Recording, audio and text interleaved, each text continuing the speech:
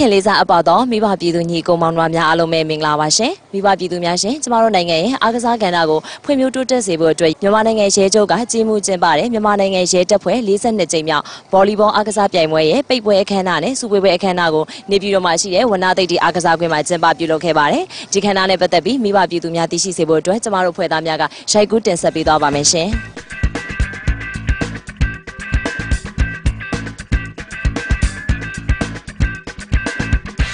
မိဘပြည်သူများရှင်ဒီကနေ့ကျင်းပတဲ့42ကြိမ်မြောက်ရဲချုပ်တကွန်ဆိုင်တိုင်းဗော်လီဘောပြိုင်ပွဲရဲ့ဘိုးလူပွဲပွဲစဉ်မှာတော့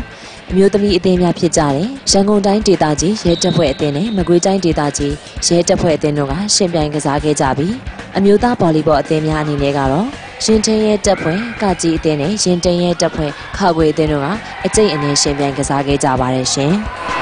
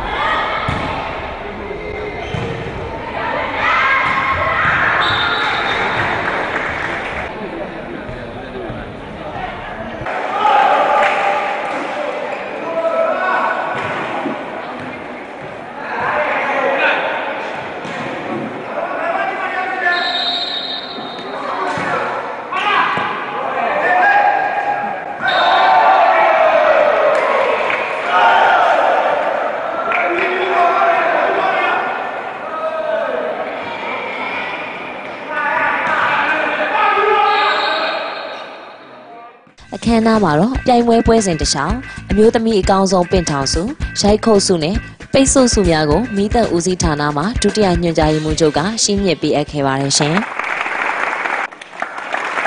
ဆက်လက်ပြီးပြိုင်ပွဲပွဲစဉ်တစ်ခြားအမျိုးသားအကောင်ဆုံးပင့်ထောင်စုရိုက်ခုတ်စုနဲ့ပိတ်ဆို့စုများကိုရေချောင်းရဲတပ်ဖွဲ့တပ်ဖွဲ့မှုမှရှင်းပြပေးအပ်ခဲ့ပါတယ်ရှင်။ ဆက်လက်ပြီးမြန်မာနိုင်ငံဗော်လီဘောအဖွဲ့ချုပ်မှဒိုင်သူကြီးများအားလေးချောင်းရဲတပ်ဖွဲ့တပ်ဖွဲ့မှုမှဂုဏ်ပြုစုငွေများကိုပေးအပ်ရှင်းပြခဲ့ပါတယ်ရှင်။တတိယဆုရရှိတဲ့မြန်မာနိုင်ငံရင်တိန်ရဲတပ်ဖွဲ့အမျိုးသမီးအသင်းအားတဦးချင်းစုများနဲ့ငွေသားစုများကိုမူရစေဝါတားဆီးနေနေရင်ရဲတပ်ဖွဲ့မှတပ်ဖွဲ့မှုမှရှင်းပြပေးအပ်ခဲ့ပါတယ်ရှင်။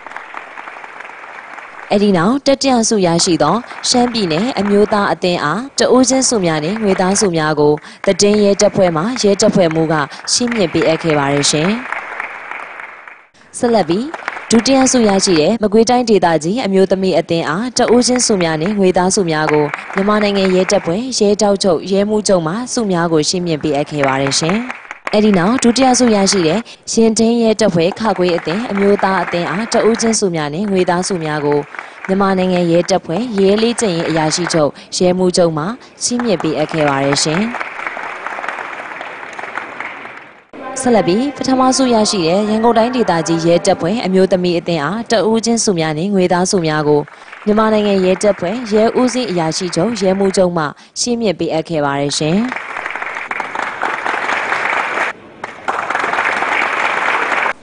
အဲ့ဒီနောက်ပထမဆုရရှိသောအမျိုးသားရင်တိန်ရဲတပ်ဖွဲ့ကချင်းအသင်းအားတဦးချင်းစုများနှင့်ငွေသားစုများကိုမြန်မာနိုင်ငံရဲတပ်ဖွဲ့ဒုတိယရဲချုပ်ရဲမှုချုပ်မှရှင်းမြင်ပေးအပ်ခဲ့ပါတယ်ရှင်။ဟောကျွန်တော်တို့ကဒီပွဲမှာဟောပေါ့ဟောပထမဆုံးရရှိခဲ့ဖြစ်ပါတယ်ကျွန်တော်တို့အသင်းအားဆိုရင်တော့ကျွန်တော်တို့အဲ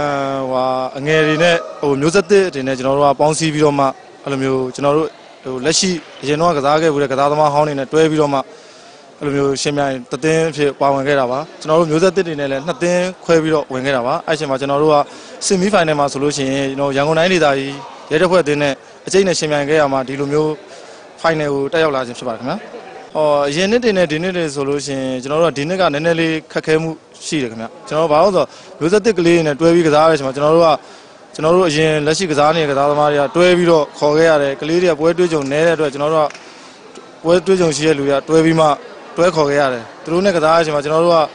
အများကြီးခက်ခဲရှိခဲ့ပါတယ်။ဟောကျွန်တော်တို့အရန်ပျော်ပါတယ်။ဘာလို့ကလေးတွေနဲ့တွဲပြီးတော့ကစားလာတော့ဆိုတော့ကျွန်တော်တို့ဒီအောင်မြင်မှုကိုထားတဲ့တန်တန်ရရှိတာလို့ပဲကျွန်တော်တို့အရန်ပျော်ရွှင်မိပါတယ်။ဟိုဟိုရဲကျုံအနေနဲ့ဒီလိုမျိုးကစားပွဲတွေလုပ်ပေးရတော့ကျွန်တော်တို့အတွက်အများကြီးခွင့်လန်းကောင်းတွေရှိပါတယ်။ကျွန်တော်မျိုးဆက်သစ် ကစကလေးတွေလည်းဟိုမြမလက်ရွေးစင်ဟိုရောက်ရှိဖို့အတွက်ဟိုနော်အဲ့ဒီရည်ရွယ်ချက်နဲ့ပဲကျွန်တော်တို့လှုပ်ဆောင်တာဖြစ်ပါတယ်အဲ့ဒီနောက်မှာတော့အမျိုးသမီးအမျိုးသားတကွန်ဆိုင်စုများကိုမြန်မာနိုင်ငံရဲတပ်ဖွဲ့ရဲကျုပ်စော်ဝင်းမှရှင်းမြစ်ပေးအပ်ကအခမ်းအနားကိုအောင်မြင်စွာပြီးဆုံးခဲ့ပါတယ်ရှင်။อืมအန်ဒီတို့ကရန်ကုန်တိုင်းဒေသကြီးရဲတပ်ဖွဲ့ဗော်လီဘောအမျိုးသမီးအသင်းဖြစ်ပါတယ် အန်ဒီတို့ကအုပ်စုပွဲတွေမှာလည်းအကုန်လုံးပွဲပြတ်တွေနဲ့နိုင်ပြီးတော့မှဒီနေ့ final ပွဲကိုတက်ရောက်ခဲ့ခြင်းဖြစ်ပါတယ်ဒီနေ့ final ပွဲမှာမကွေးတိုင်းဒေသကြီးရဲတပ်ဖွဲ့အသင်းနဲ့ပြိုင်တဲ့အချိန်မှာအန်ဒီတို့သုံးပွဲပြတ်နဲ့ပဲအပြတ်သက်နိုင်ပြီးတော့မှအန်ဒီတို့ဒီ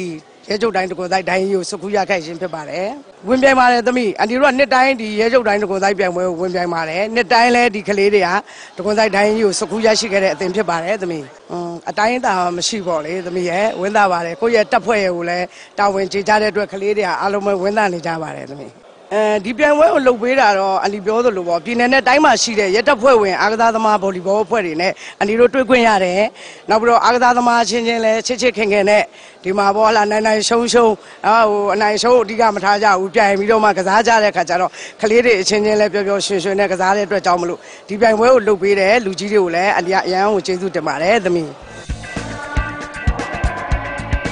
မိဘပြည်သူများရှင်အခုရိုက်ကူးတင်ဆက်ပေးခဲ့တာကတော့42ကြိမ်မြောက်မြန်မာနိုင်ငံရဲတပ်ဖွဲ့ရဲချုပ်တကွန်ဆိုင်တိုင်းဗော်လီဘောပြိုင်ပွဲပိတ်ပွဲနဲ့ဆုရှင်းမြင့်ပွဲအခမ်းအနားပဲဖြစ်ပါတယ်ရှင်ဒီစီစဉ်ကိုကြည့်ရှုအားပေးခဲ့ကြတဲ့မိဘပြည်သူညီကိုမောင်တို့များအားလုံးလည်းကျမ်းပါပါစေလို့ဆန္ဒပြုလိုက်ပါတယ်ရှင်ကျေးဇူးထူးပင်တင်ရှိပါတယ်ရှင်